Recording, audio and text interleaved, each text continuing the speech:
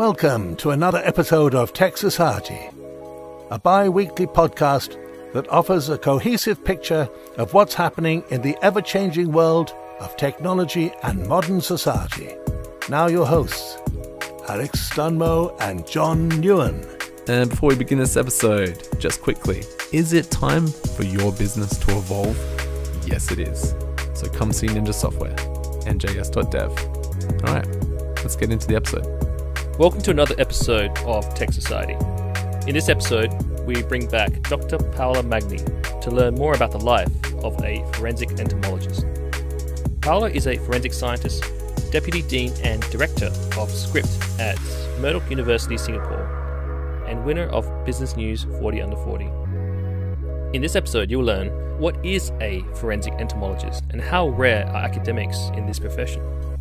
How can the discipline of forensic entomology be used to fight crime and solve mysteries? And what kind of cutting edge technologies exist today in the space? We asked Paola to elaborate on her crazy stories throughout her career, from tracking corpses in the water to hunting down origins of contaminants to resolve corporate disputes, all the way through to investigating accusations of witchcraft.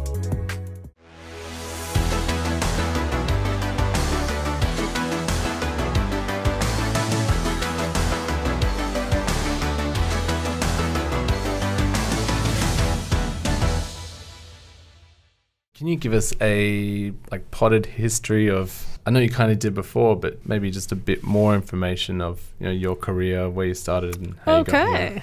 Okay. okay, well, it's an interesting story if you want to say that because w- when I graduated at the high school and I had to start the university, I had no idea that forensic science was a thing. There were no CSI movies in TV. The maximum thing that you could watch was uh, Murder She Wrote. That was uh, like was everything based on if the person that dies also bangs his watch just to see the time of death. Yeah. so that was take or leave it. And there was always the policeman that didn't know anything, and the pathologist of the little countryside place that was not getting the right information. But Jessica Fletcher was, yeah, all over the place, Mm. and she was, yeah, bringing very unluck uh, to every place that she was going because every time she was around, somebody was dying, but she was solving all the cases. It was interesting. It was a, a nice something to something nice to watch, but that's pretty much it. I was not even thinking that could be my work. So forensic science was not a thing. If you could, if you wanted to study something about criminalistics or criminology, you had to be part of the police academy somehow, and hmm. was something that was provided to you because that was part of the courses and your your preparation in general training or become a pathologist, study medicine for six years, and maybe become a forensic pathologist, medical mm-hmm. legal, and so s- three, five more years of, of study. But no, well, that was not for me, and I was not interested. No. Yeah. So instead, I was extremely interested in nature and environment and animals, but not as a not from the veterinary point of view. I don't want to save any. I just want to watch them and learn about them. you know, I was in love with that, that documentaries, like David Attenborough kind of documentaries. We have a, a guy that is called Piero Angela in Italy that is similar situation, kind of the same age, old mm. guy, knows everything, nice voice, and take you through the savannah and the underwater environment, and yeah, beautiful things. And uh, so yeah, that was okay. I want to do that because I really like it. So I enrolled in natural sciences. That is a degree in uh, is a combined course between uh, geology and biology. So half science of life, half science of the earth. So you really try to understand what's going on in the environment. The bio, if you have a plant, the biologist will look the green part and the trunk. The geologist will look at the soil and the vase. But the naturalist, the person that studies natural sciences, knows a little bit about everything, plus also the air around and maybe about the people that are looking at the plants, so the, also the anthropological side. So uh, that looks like more complete to me, more efficient. If you want to learn later, you can't only stick with the living part of the of the soil. So I was studying that. I was loving it, and uh, typical teenage girl doing natural sciences, my my free time I was breeding snakes. I had this crush for yeah strange animals, and I had a few tanks with uh, frogs and lizards, and I even had a monitor lizard that was Oh, not wow. even Don't they grow quite large? The- yeah. Tell my mom about that. Yeah.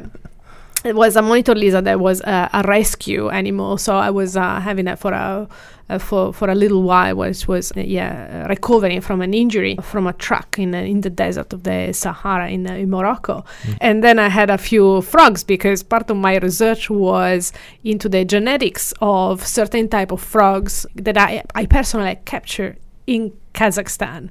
So I traveled the world to do this crazy s- and traveling back home and s- trying to study and prepare this thesis, this this research about this. I was not happy, feeling like okay, this is science for sure because I'm using the scientific method and so observation, hypothesis, you know, statistics, law theories, and you write and things.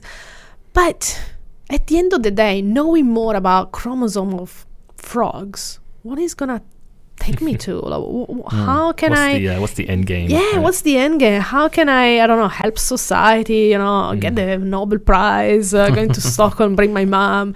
So well, I wasn't. I had a, like a middle-age crisis at 22. Consider that the uni- you start the university around 19 in Yeah. in Italy because that is the, the normal course of, th- of things. So yeah, 22 was like, oh my god, what am I'm doing. I put myself in a situation of sliding doors. I say, okay, I'm gonna apply for this uh, grant to do another research alongside my studies, and if I pass this, I will continue on this on this frogs business and. th- if not, maybe it's the universe, it's the environment, it's the sky, whatever you think, the energy that is telling me something, and I will uh, do a dif- go for a different direction. I didn't get that grant, Mm. so that was this, you know, this okay, these sliding doors that was closed. And okay, let's let's see what happened next. Yeah. And what happened next was was the fact that I was actually studying astronomy, a course of astronomy, and I had a big fight with the professor there. Not a very nice fight. And I decided to drop the course and I had to include something instead of uh, astronomy. And I decided for entomology. Entomology is the study of insects, so Mm. s- really different from the sky and the stars to the bugs. That's a b- that was a big fight for me to decide something like this. In doing this, I started this course, and the professor started saying very very simple things like, "Okay, bugs are everywhere. Are the animals more representative of life everywhere in the world? Everywhere in the world, you can find bugs. You can find bugs in your in your cupboard, in your kitchen." In your bed, but also in the desert or in the glaciers, even underwater, you can find insects. They're really everywhere because they can uh, survive with different food sources. They are very strong. You know, there is the old tale about everyone who's gonna die, but cockroach will survive. Of course, yeah. Yeah. But there are not that many people that study insects compared to the number and type of insects that are available. There are some entomologists that study insects that are uh, beautiful, like butterflies, Mm. beetles, insects that are a big damage for the society for whatever reason. They are pests, they are pests of agriculture, they bring, uh, or they are vectors of diseases, things, or they are very useful insects. Imagine bees and pollinators and, uh, you know, biological fights against aphids or other. And by the way, oh, then there are some people that study specific groups just because they are sick of that group. They just like it, just want to work on that. And by the way, in the last few years, there are some people there are studies looking at the insects, study the insects that can be found at the crime scene hmm. To help the investigations about different things. Can be medical legal investigation, can be veterinary investigation, can be storage products investigation. So what kind, why do you find these bugs in your sandwich, hmm. and also urban entomology, why you find the bugs in the hotel, for example. So hmm. this can help the investigation. So they need an entomologist to identify what kind of bugs, what kind of damage, from how long are there, how we can avoid them, how did they arrive there. Hmm. So this can help in making some like backtrack the story, backtrack the information, and provide the basics for to the for the police and the prosecutor to provide a charge to whoever did the wrong thing. So uh, all this all this process of using bugs to do some crime investigation is this is this a new thing? The forensic entomology, so the use of insects for for uh, criminal investigation, is considered to be born in uh, uh, 1890 at, at the end of 1800 because of a, a publication by uh, a French veterinary of the army who was studying the decomposition of dogs during the war. That was the first work, the first research that was done using the scientific method. But said that before, it was very well known that insects go on uh, cadavers and can destroy cadavers or can be uh, used for, for the composition process for an active cleaning of wounds, for example. Mm, Yeah, of course. So um, even on the Bible, there is written something about bugs in that sense. Mm. If you go even back in the Bible, the Lord of the Flies, Beelzebub, that is one of the name of the devil, Mm. i- is is something about the fact that it's about death, devil, and flies. If you think that Samson, you know, the the guy with long hair, at some point, one of the seven fatigue that he has to do to prove himself was killing a lion. Then he comes back to see the carcass of the lion, and there are insects buzzing in Mm. the lion. So there was this story of the decomposition. There was a little story inside of the the Samson and lion that is in the lion there were no flies, but there were bees. But this is because there was a misunderstanding in the A mistranslation, a yeah. No, no, it was a misunderstanding of the people thinking that Ah. uh, noble animals like horses of lions they make bees Really? but very common and basic animals like dogs and donkeys they make flies but the misunderstanding comes from the fact that some of the flies that decompose bodies have the same colors of bees it's a mimicry is uh, so these flies they try to resemble uh, wasps so they're black and yellow but they really look li- look alike so Yeah. from people from far away you say oh wow Oh, oh no, a carcass wasp. yeah, yeah. so that was um is a is an interesting thing about mythology and the flies and the bees and the and the and the history. It's it's kind of recent, but Mm. it's not. So back to my story. Yeah, that this big bug. Oh wow, bugs. So nature bugs doesn't matter. I can use. I was not like interested in a specific group of animals. I love Mm. animals. Could be jellyfish, sa- sharks, or bugs. As far as I can use them for an application that can be bigger than me and can be helpful for society. So that was okay. Okay, I can use bugs for criminal investigation, for giving justice to Mm. people and uh, closure to families. Oh, God only knows. yeah. So um, I looked into that and I found that in Italy was really, really like super basic. There were a few things happening in the south of Italy in the 80s. Some pathologists were reading writing some publications about corpse and maggots but not much. It was something happening in in UK at the Natural History Museum of London where there was a specific department of entomology with uh, one or two people working on that. And just for chance because things have to have like stars must be aligned in a few months from that moment in was, uh, which I was looking at the Natural History Museum, there was going to be held the f- second conference of uh, the European Association for Forensic Entomology. So I Hmm. said, "Whoa, London entomology, this stuff. I think I'm gonna go to London."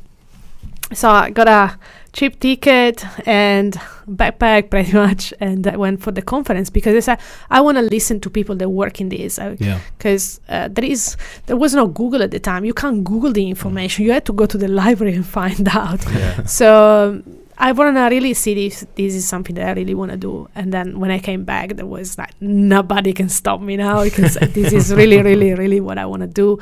And so from that point, I had to. Yeah, be very bold and brave and ask everyone if I could do this because uh, there was not a discipline at the university, either in the natural sciences, chemistry, or uh, biology, or medical, legal, uh, or medicine. So I had to go through the health system, uh, speak with the head of the uh, pathology department, and say, "Can I work alongside your uh, pathologist and pick up the bugs?" Pretty much. and they were, "Oh my god, you want to pick up the bugs?" You are super welcome. Red carpet. We hate bugs. So if anyone comes around and want to deal with the bugs, we are so happy for that. and that was the starting point. And my number was on the telephone that was used by the pathologist for the 24 7 work. And I was called on the scene to pick up the bugs, then the autopsy to pick up the bugs. And then all of this information from the bugs and the cases were part of my thesis that in a year time become a book, uh, Mhm. like a proper book. There was a, is still a manual for, for the pathologists and the policemen in uh, in Italy. And then Wow. and then they they they were so happy that someone was picking the bugs that they gave me a job over there. So I worked for a few years at the at the health department for the pathologist. And then I started working for the forensic veterinary department as well, because the victim can be either a person or an animal, and you can investigate pretty much in the same way. The bugs are pretty much the same, and in many cases, the law protect moni- nearly more more the animals than the people, and especially if it's uh, protected animals like like a dolphin or a bear. So Mm. I had different cases in that sense, and then I started a PhD and I came to Australia because back in the days at UWA there was the Center for Forensic Science that was run by a professor, Professor Dadour, who was a forensic entomologist, one of the best in the world. He invited me over and Oh wow. that is the beginning of the end because then I stayed. and then I improved my knowledge in bugs and I faced several cases of people found in aquatic environments, Mhm. so freshwater or salt water, and this was even more challenging, even more interesting, more difficult. So, oh, we need more knowledge about that. So I am driving my research on two sides: the terrestrial part with uh, flies and the aquatic part with crustaceans, especially and plankton. So now I work in these two directions. And in a classical way, like typical microscope and uh, gloves, and Yeah. uh, looking at things in a very classical way, and the books and the pictures, and also using new technologies, like, for example, hyperspectral imaging chemical like toxicology toxicolo- toxicology kind of tools like GCMS or HP d- depends what we had Mm. to look after so using new technologies to investigate classical things because they can give us more information. So so yeah. Other other time you have to do lecturing and Mm. then you have to do research and sometimes the research can wait sometimes cannot. Like this is the summer period is the moment in which we can work the most. But sometimes we just work in a way that we get the samples now and then we use them during winter. Basically we are squirrels.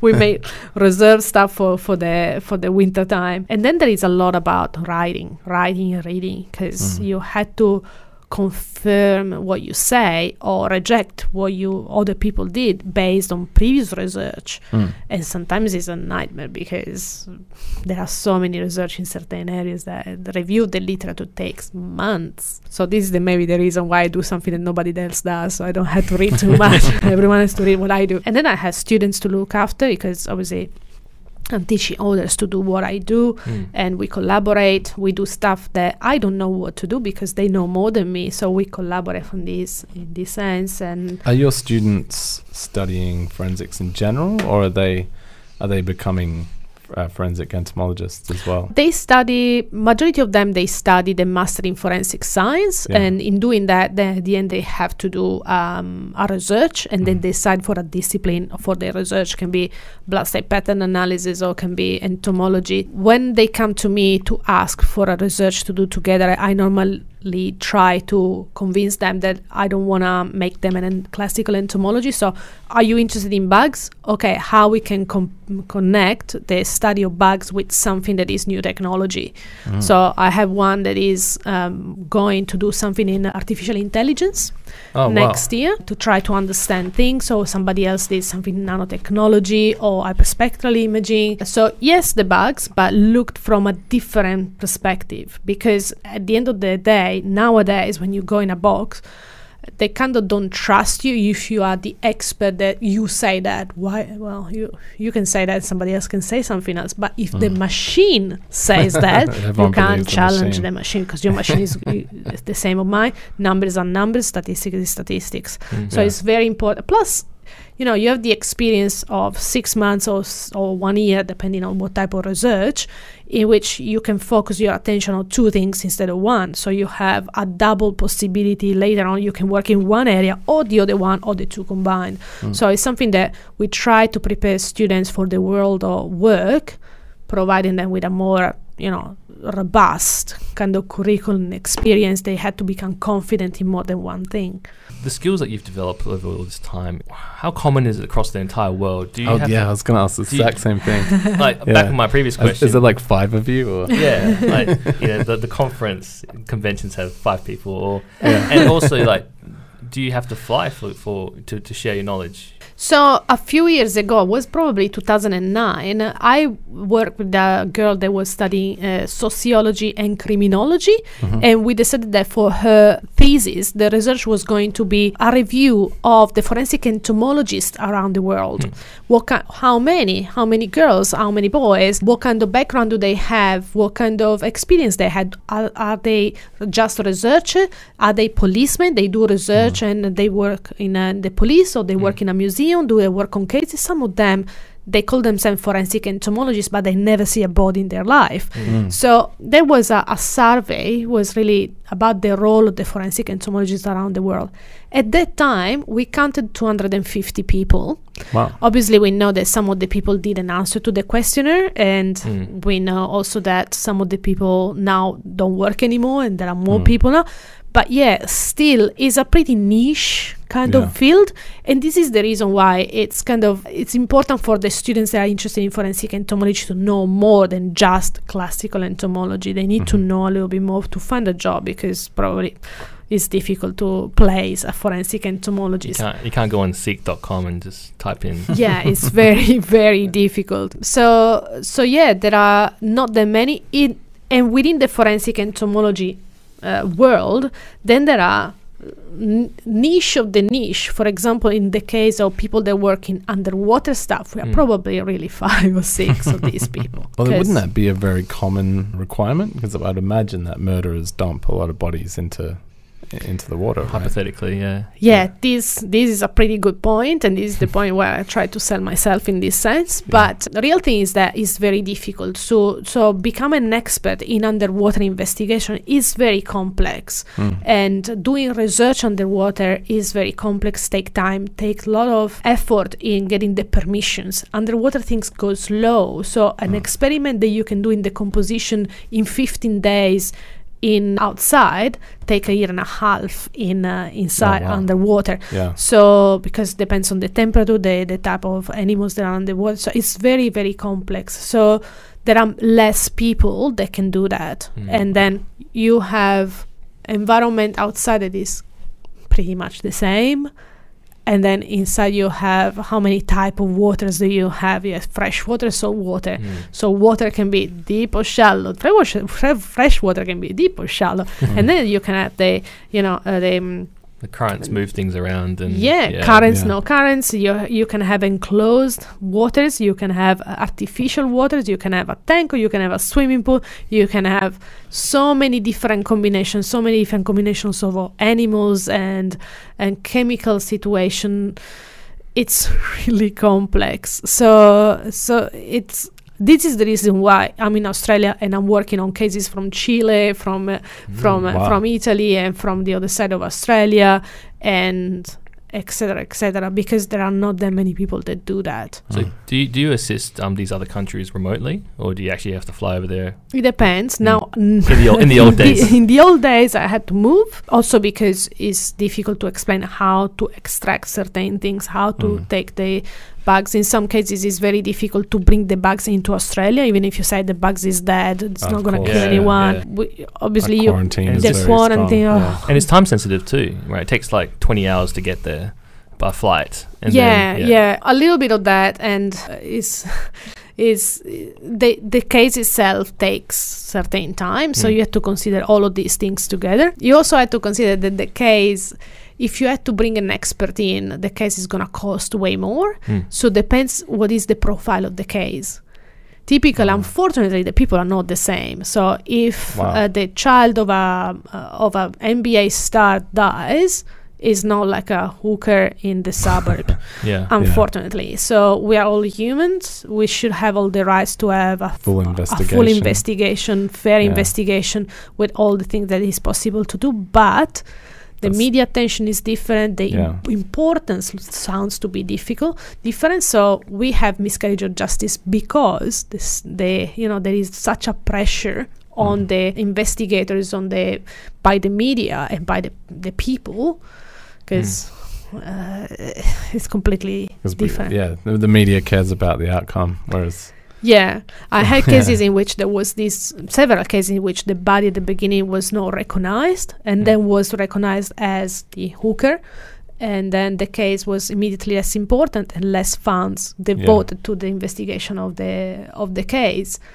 So it's sad. It's extremely sad for people that work in this case, not because the body is X Y Z, but because you want to know to have justice at the end of the case yeah, because they have different importance and it's it's unbelievable for us You've brought up like changes in technology a few times with all these acronyms that I haven't heard before, and Mm. uh, hyper something spectrometry, spectrometry. yeah Yeah, so I'm actually interested in like, has there been any super cool next gen tech that's really flipped everything around, or has it just been a slow increment change where you actually move from paper to Excel, you know, kind of stuff? i was discussing something uh, on my way here with a friend at the phone and she's a pathologist and uh, she has uh, some some data i need to do some stats because but i need someone that does the stats for me because i did my stats course at the beginning of my medical school that was in 1999 and now and we were basically doing this on the paper and now there are all these software I Yeah. actually don't have an idea where to start. So yeah some of the stuff i mean excel definitely changed life. There are many things that uh, we try to achieve in terms of criminal investigation that is for example try to don't touch the evidence because every time you touch the evidence you're going to modify the evidence and and and this is a very important point so the hyperspectral imaging is a passive way is a Mm. passive way to investigate stuff without even touching it so Can you, tell is us, can you tell us more Yeah, about what is what it is? okay Yeah. imagine a, um, a camera a normal camera Yeah. Uh, take images takes images and what you see is something around the spectrum of the visible light Yes. Yes. okay and hyperspectral camera allows you to take the same image but with a huge a larger spectrum that goes from infrared to uv instead Wow. of just the visible How's it? How, how do you use that, or how is it useful? I must know. so all of what you see can be actually translated in numbers of wavelength Okay. okay so this the wavelength uh, Mm. depending on what you see, the colors and things, Mm. are numbers. And they can change if the images change. So the reflectance of what you see is different in the different spectrum, but only if you had the technology to see this spectrum. So something that you, you see this way, if you see that way, can be way more different. Yeah. Allo- hyperspectral imaging also allows you to see things that are not just on the surface.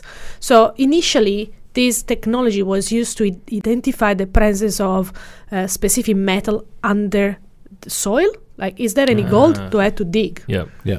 But if I take a picture and the soil gives me a wavelength, some numbers that are completely out, and they can be similar to a library of data that says it's gold. Well, this is the place where I had to dig instead of the other one. That's Okay. cool. Yep.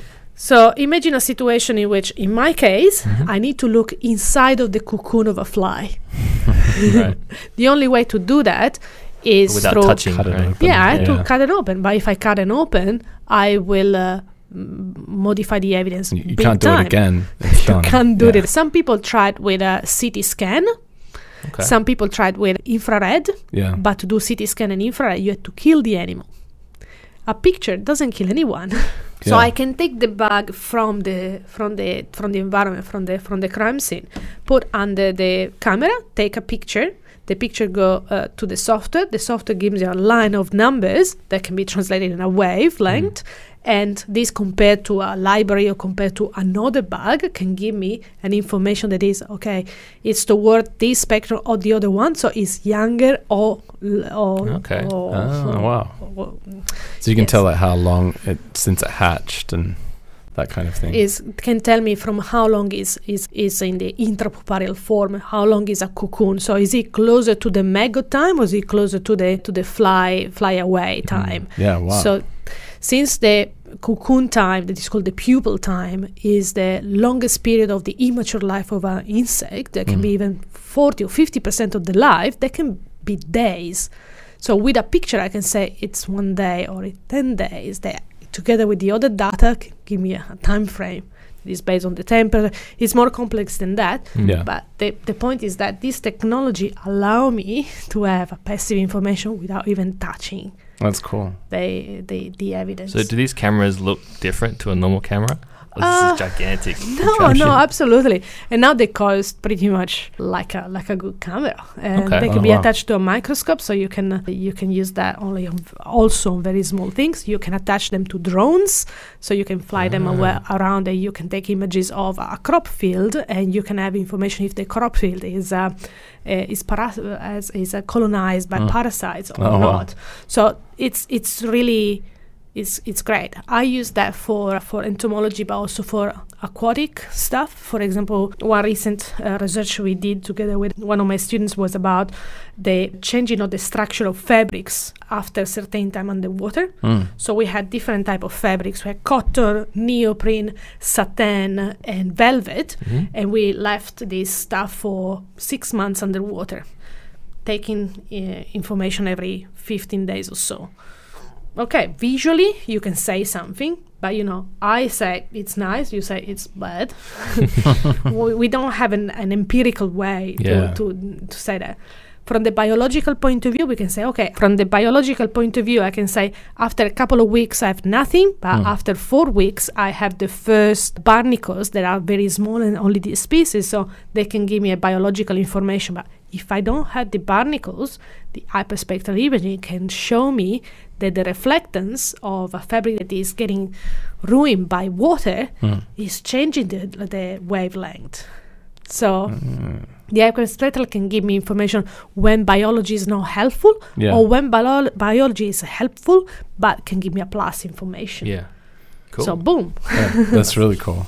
Yeah. Any other really fun stories like where the insect caught the perp? Yeah, different situations. Well, well, there are proper murders in which the time was really spot on, and then there was the famous case of the cat of the black magic. So there was this place in which people were saying that there was people coming and doing some rituals Satanic rituals. s- kind of thing. strange Yeah. rituals Mm. and things, and a bunch of cats were found there, kind of how to say mummified kind Oh, of cats, Wow. but naturally mummified, no, not like mummified Yeah. with okay, yeah. and so the work was about that and was about trying to understand if the time frame of of the death was connected to the time in which people were saying they were the rituals Mm. was not so but then i found out later on that apparently cats that are used for rituals they use the the posterior legs for the rituals and all the cats had the posterior legs in the, in the right place so it was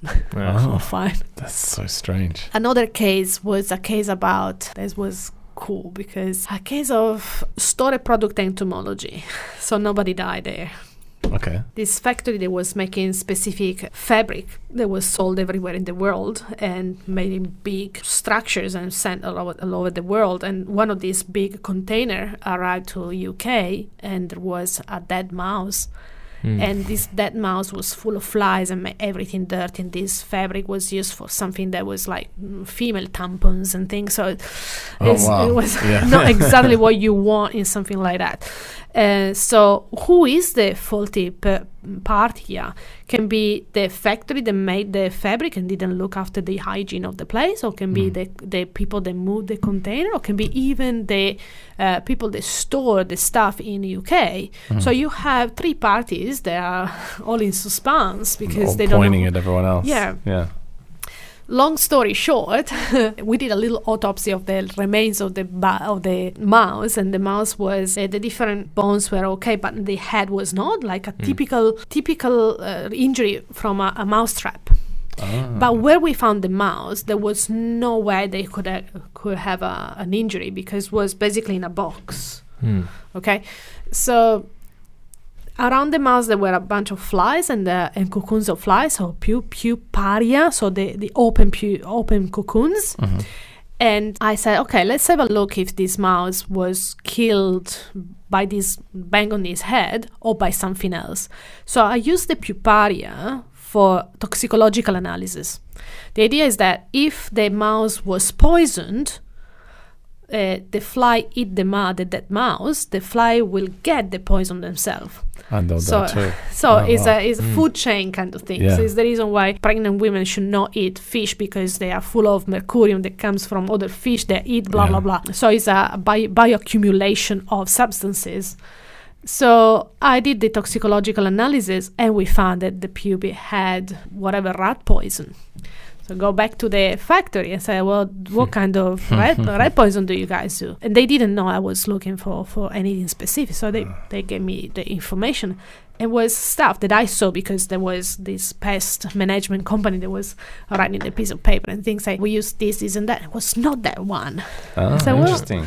So, long story short, someone from the factory was was fired recently, and in the last night shift that he had in the factory, he brought a mouse that he killed at his place just to do the last prank to the to the Oh, company wow. and put them in a very bad light with the customers and That's so. CityCam Yeah. was uh, was confirming all of that and but yeah and the house of this guy there was the the mouse trap and there was the poison that was different Yeah. and then yeah, we saw him doing this in the, during the night by the city camera. So yeah, so the puparia of the fly were full of drugs They gave us the the answer. So That's really cool. this is the beauty of using s- the evidence that CSI doesn't consider.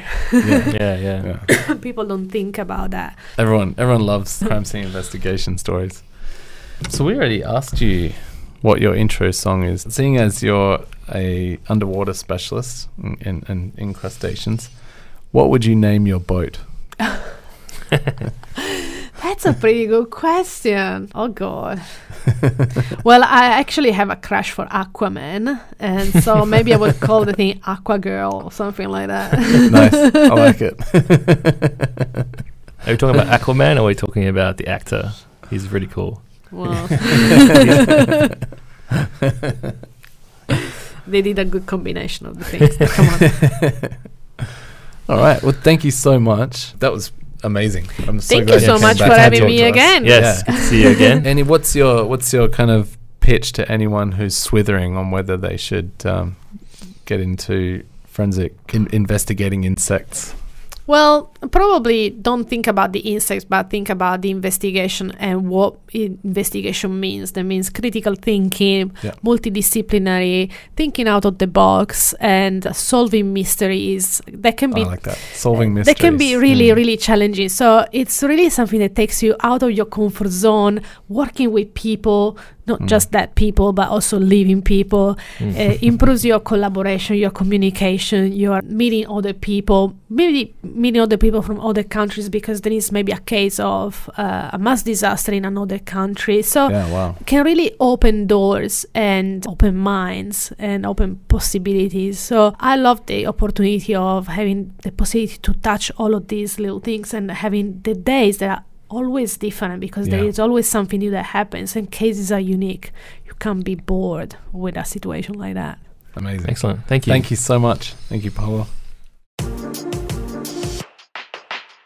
You've made it to the end of another episode of Tech Society. Thanks for listening. On this month in tech history, March 15th, 1985, the first internet domain in history was registered, symbolics.com, a Massachusetts computer company. Make sure you hit us up on Twitter at Tech Society. Head over to the website, subscribe to the newsletter.